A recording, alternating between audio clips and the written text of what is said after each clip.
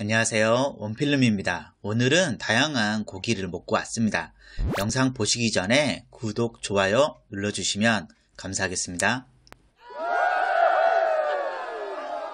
제가 고기를 먹으러 간 것은 탄현동 탄현 일지구에 위치해 있는 순인의 연탄 갈비입니다. 주차는 주변 빈 곳에 알아서 하시면 되고요. 어, 근처에 공영주차장 있으니 공영주차장 이용하시면 됩니다. 영업시간은 오후 5시부터 새벽 2시까지, 밤 12시까지 이렇게 하고 매주 일요일은 휴무입니다.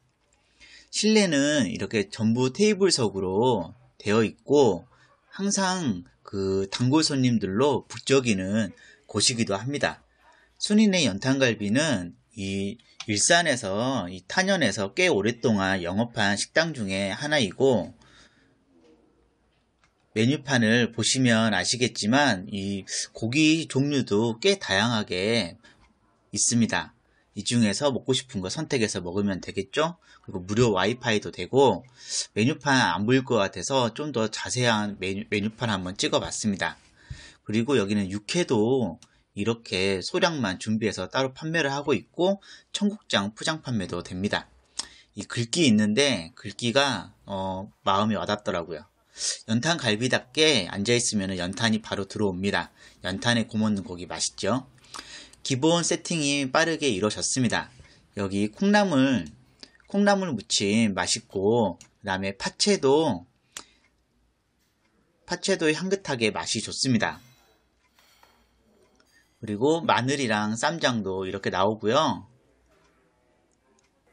고기 찍어 먹을 소금도 나옵니다. 저 굵은 소금은 고기 구울 때 뿌려줄 소금입니다. 그리고 이 오이 무침도 맛있게 잘 먹었습니다. 예, 양파 장아찌네요.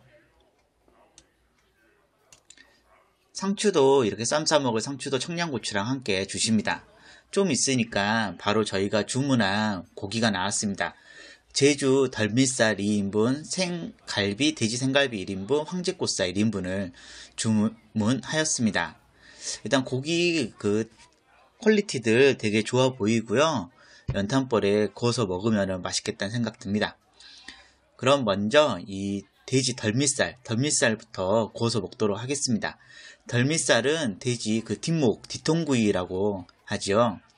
요즘에는 이제 이 부위만 전문점으로 하는 식당이 따로 있기도 하는데 이곳은 예전부터 이 덜미살을 판매를 하고 있었습니다. 덜미살이 이게 삼겹살이랑은 전혀 다른 식감을 가지고 있어서 맛이 꽤 좋습니다. 그리고 비계가 많은 것 같은데 이 비계가 이 덜미살의 매력 포인트라고 할 수가 있습니다. 고기 굽고 있는데 청국장이 나왔습니다.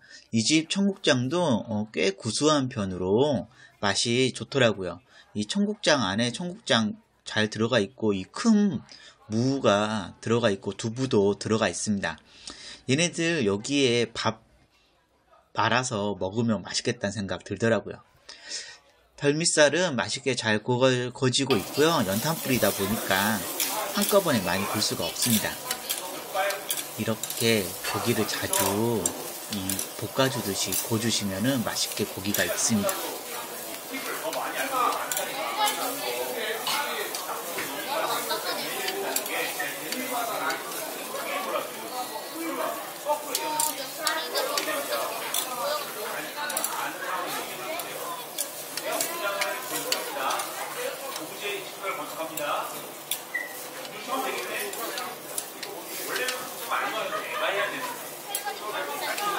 덜미살이 맛있게 구워졌습니다.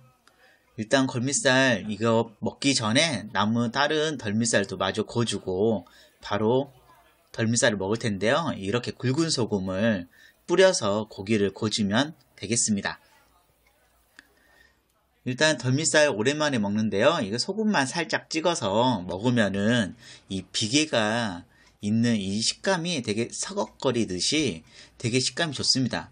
어, 아이들도 잘 먹고 저도 술이랑 같이 먹는데 맛있더라고요. 쌈도 싸서 먹어줘야겠죠?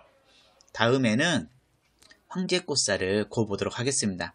황제꽃살 이거는 미국산이더라고요. 일단 소고기니까 많이 올리지 않고 딱 먹을 한 사람당 한 점씩 4점만 올려서 구워주도록 하겠습니다. 소고기니까 많이 구우면은 맛이 없어지기 때문에 이 적당히만 구워서 바로 먹, 먹으면 될 것 같습니다. 황제꽃살 퀄리티, 비주얼 되게 좋아 보입니다. 맛있게 잘 궈졌습니다. 미디엄 정도로 궈졌는데요.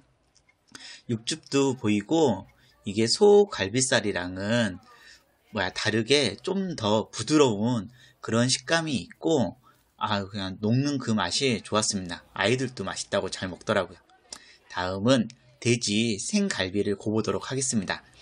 돼지 생갈비는 양념갈비랑 뭐 같은 고기를 사용하는 것 같은데 일단 양념이 없이 이렇게 있으니까 돼지 생갈비 구울 때도 소금을 좀 뿌려서 구워주시면 될 것 같습니다. 일단 고기는 제가 항상 구우니까요. 이거 그리고 불판도 많이 타 있으면은 갈아달라 하면은 직원분께서 친절하게 바로 바로 갈아 주시더라고요. 일단 돼지 생갈비 잘 익어가고 있고요. 보기 되게 좋네요. 그럼 다 익었으니까 이제 먹기 좋게 잘라서 먹기만 하면 될 것 같습니다. 돼지 생갈비 먹기 좋게 잘 잘라줬고요. 어, 일단 비주얼 좋고 맛있어 보입니다. 그리고 어, 일단 맛을 봤는데 이 돼지 생갈비 너무 퍽퍽하지도 않고 맛있게 부드러울 정도로 식감 좋게 제가 잘 굽습니다. 역시 고기는 제가 잘 굽는 것 같습니다.